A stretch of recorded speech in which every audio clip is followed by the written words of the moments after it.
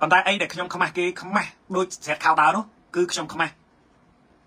កីឡាករដែលតំណាងឲ្យជាតិខ្មែររបស់ខ្ញុំខ្ញុំនិយាយនេះខ្ញុំអត់ខ្លាចអស់លោកណាជេទេពីព្រោះខ្ញុំពិតជាខ្មែរឈាមជួរខ្ញុំជាខ្មែរម្ដាយខ្ញុំក៏ខ្មែរឪពុកខ្ញុំក៏ខ្មែរហើយខ្មែរធ្វើបែបនេះវាធ្វើឲ្យខ្មែរទូទាំងប្រទេសខ្មាស់គេណាពិតជាមានអារម្មណ៍ថាខ្មាស់គេខ្លាំងណាស់ខ្ញុំសូមសម្ដែងការសុំទោសទៅដល់ប្រទេសជាមិត្តដូចជាដៃគូកីឡាករដែលមកពីសហរដ្ឋអាមេរិកតែគាត់មានការអន់សពុនចិត្តប៉ុន្តែគាត់ជាកីឡាករគាត់មាន ឆន្ទៈខ្ពស់គាត់មានការយល់ដឹងជ្រៅជ្រះទាំងសំណេររបស់គាត់សរសេរខ្ញុំក៏បានមើលជាភាសាអង់គ្លេសហើយបើនិយាយពីសាច់ប្រកួតវិញខ្ញុំពិតជាសូមសរសើរដល់កីឡាករអាមេរិកដែលមកប្រកួត គេពិតជាកីឡាករពិតប្រាកដណាគេជាកីឡាករពិតប្រាកដគេជាកីឡាករដែលមានអាជីពមានវិជ្ជាជីវៈមានក្រមសីលធម៌ទម្លាប់របស់ជនបរទេសបងប្អូនដែលមិនទាន់ធ្វើការជាមួយត្រូវដឹងណាខ្ញុំធ្លាប់ ខ្ញុំធ្លាប់ធ្វើការជាមួយនឹងបារាំងខ្ញុំធ្លាប់ធ្វើការជាមួយនឹងជប៉ុនហើយក្នុងនោះក៏មានជនជាតិអាមេរិកខ្លះដែរខ្ញុំនិយាយអំពីពេលវេលារបស់ពួកគាត់បើថាម៉ោង1គឺមួយដូចខ្ញុំឡាយខុសប៉ុណ្ណឹងក៏ខុសដែរក៏អត់បានន័យថាអត់គ្រប់ពេលវេលាដែរទោះបីជាមិនមែនជាការងារបានលុយក៏ដោយអញ្ចឹងពួកគាត់គឺគ្រប់ពេលវេលាណាគេឲ្យតម្លៃទៅលើពេលវេលាណាបាទ1នាទី1វិនាទីសម្រាប់ពួកគេគឺមានតម្លៃណាស់ហើយមកដល់បច្ចុប្បន្នដោយសារតែកីឡាករយើងឥឡូវនេះគឺចង់និយាយថាលំដាប់អស់ហើយ អញ្ចឹងកីឡាករខ្លះគាត់ក៏មាន fan ផ្កាប់មុខរបស់គាត់រហូតដល់ប៉ះលេងបានរហូតដល់ផ្កាប់មុខខុសរឿងរហូតដល់ផ្កាប់មុខហ៊ានជេរគេហ៊ានជេរឯងអ្នកដែលនិយាយការពិតដើម្បីការពារបាទបាទអូអរគុណបងប្អូនខាងអាមេរិកគាត់មើលដែរអរគុណច្រើនចិត្តត្រាមុំខ្ញុំអត់ដឹងថាបងឯងបង profile ខ្ញុំអត់ទាន់បានមើលបើសិនមានការខុសត្រូវសូមអធិស្ឋានអញ្ចឹងខ្ញុំខ្ញុំក៏សម្ដែងការសំទោសចំពោះកីឡាករជនជាតិអាមេរិក ដែលមកប្រកួតនៅខ្មែរហើយកីឡាករខ្មែររបស់ខ្ញុំខ្មែររបស់យើងធ្វើនៅចរិតដែលមិនគួរឲ្យដល់នៅការគោរពបាទខ្ញុំនិយាយនេះគឺខ្ញុំនិយាយក្នុងនាមខ្ញុំជាខ្មែរខ្ញុំមានអារម្មណ៍ថាខ្ញុំខ្មាស់គេខ្ញុំចង់ប្រាប់តែអញ្ចឹងខ្ញុំអត់ចង់លើកបកគលណាទេខ្ញុំចង់និយាយថាខ្មែរកីឡាករដែលតំណាងឲ្យខ្មែរដែលជាស្ដេចនៅក្នុងរង្វង់អាជីពជាអ្នកបណ្ដាលដែលគេប្រសិទ្ធនាមហើយខ្ញុំអត់បានប្រសិទ្ធនាមទេ អញ្ចឹងខ្ញុំពិតជាមានអារម្មណ៍ថាខ្ញុំជាខ្មែរគឺខ្ញុំខ្វះគេណាខ្ញុំចង់និយាយថាពាក្យនឹងត្រែត្រែត្រែត្រែទៅមកថ្ងៃហ្នឹងហើយតិចខ្ញុំចូលដល់និយាយពីការប្រកួតឡើយ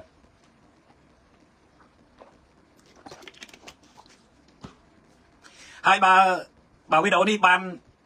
ផ្សព្វផ្សាយឬក៏ចែករំលែកទៅដល់ដៅលីដូចអឺខ្ញុំជាខ្ញុំខ្ញុំជាខ្មែរបើវីដេអូនេះបានលើដល់ដៅលីដូច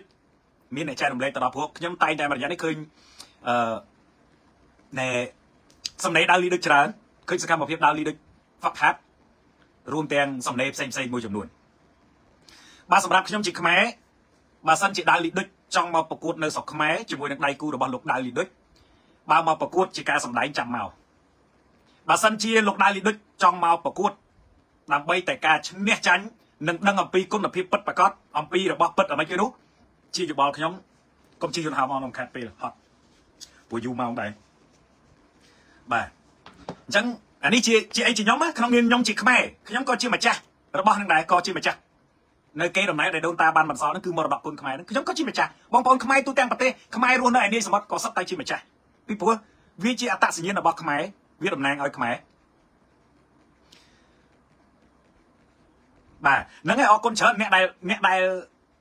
ដែលបានចូលមកកំណត់នេះបាទពីតើបាទខ្ញុំបាននិយាយឲ្យខ្ញុំខ្លាចណាស់ អាពីអស់លោកថាខ្លាំងឡើងវាយខ្លួនឯងទៅហ្នឹងលោកប៉ាពីតើឯងមានពេលឡើងវាយចោះព្រោះខ្ញុំមិនមែនជាកីឡាករណាខ្ញុំមិនមែនជាកីឡាករទេខ្ញុំប្រាប់ឲ្យតែអាជីពរបស់ខ្ញុំអតីតគឺជាពិធីករបច្ចុប្បន្នគឺជាអ្នករកស៊ីតូចតាចណាហើយហេតុអីបានជាអស់លោកឯងចូលចិត្តប្រើអារឿងពាក្យបើខ្លាំងមិនឡើងវាយខ្លួនឯងឡើងវាយទៅបណ្ដឹងបើខ្ញុំជាកីឡាករខ្ញុំចាំបាច់មកអង្គុយនិយាយខ្ញុំឡើងវាយបាត់ហើយតែខ្ញុំមិនមែនជាកីឡាករណាខ្ញុំខ្ញុំមិនមែនជាកីឡាករ បាទអរគុណច្រើនបងចិត្តត្រាមុំបាទ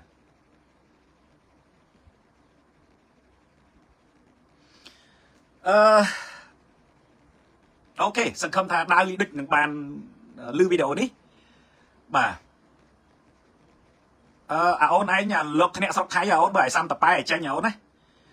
កុំតាមបងអូនឯងមើលទៅអីបើអូនឯងសាំមើលឲ្យសាំមើលទៅអីកុំមើលអីល្អជាងណា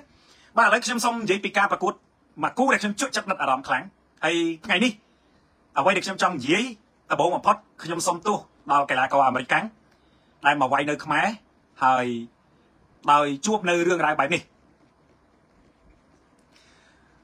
អឺប៉ាពីតឺឯងតែឥឡូវចេះខ្ញុំដឹងប្លុកគាត់ចោលមិនទេខ្ញុំខ្ជិលមើលឲ្យវាទៅវាហួសមកចង់និយាយអូខេតោះ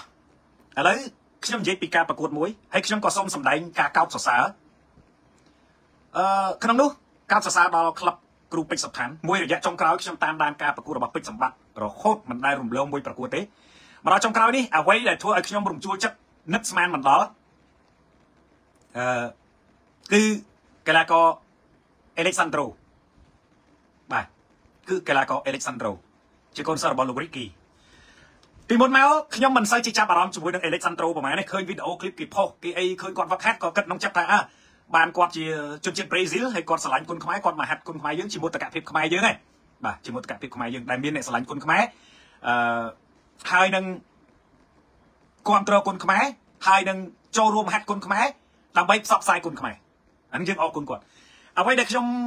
នឹកស្មានមិនដល់ខ្ញុំគិតថាអេលេកសាន់ដ្រូប្រហែលជាអាចនឹងសន្លប់ក្រោមកណ្ដាប់ដៃពេជ្រសម្បត្តិនៅក្នុងរង្វង់នៃការប្រកួតក្នុងនីតិណាមួយនៅក្នុងជុំមកគេហ្នឹងអឺ ពីព្រោះកន្លងមកនេះខ្ញុំឃើញសុខរបស់ពេជ្រសម្បត្តិអ្វីដែលខ្ញុំចាប់អារម្មណ៍ការហ្វឹកហាត់របស់គាត់គឺតាមការគេសម្ភារផ្សេងៗអញ្ចឹងណាព្រោះមួយរយៈចុងក្រោយនេះឃើញមានបងប្អូនសាំង social media មានការផ្សព្វផ្សាយច្រើនហើយមានការធ្វើសកម្មភាពជាច្រើនជាមួយនឹងវិស័យគុណខ្មែរគឺគួរឲ្យកត់សម្គាល់ខុសពីជំនាន់ដែលខ្ញុំនៅអត្ថាធិប្បាយបដាល់ឥឡូវនេះមានទាំងស្រីទាំងប្រុសទាំងក្មេងទាំងចាស់ទាំងតូចទាំងធំដោយសារពួកគាត់ធ្វើទៅគាត់ផ្សព្វផ្សាយទៅមានគេមើលច្រើនទៅមានគេឧបត្ថម្ភគាត់បានលុយអញ្ចឹងគាត់មានកម្លាំងក្នុងការធ្វើទៅវាខុសពីខ្ញុំខ្ញុំគឺជាបុគ្គលម្នាក់ដែលកៅភ្នែករបស់បុគ្គលដែលមានខួរតិច ឬក៏បុគ្គលដែលខួរចង្អៀតបេះដូងចង្អៀតគាត់តែងតែថាខ្ញុំជន់ពលិចក្តិចត្រួយខ្ញុំនិយាយដើម្បីយកមុខខ្ញុំនិយាយដើម្បីយកប្រយោជន៍តែសួរថ្ងៃនេះខ្ញុំបានប្រយោជន៍អីខ្លះបាទអញ្ចឹងបងប្អូនដែលស្គាល់ខ្ញុំគឺដឹងហើយថាថ្ងៃខ្ញុំបានប្រយោជន៍អីខ្លះពីគុណខ្មែរប៉ុន្តែខ្ញុំអត់ដើរចេញអត់ដើរចោលទេខ្ញុំនៅតែបន្តតាមដាននិងចូលរួមជាមួយបងប្អូនដែលអឺគ្រប់គ្រងគុណខ្មែររបស់យើងហើយអ្នកដែលគ្រប់គ្រងខ្ញុំស្រឡាញ់ខ្ញុំនិងរួមទាំងអ្នកស្អប់ខ្ញុំផងដែរ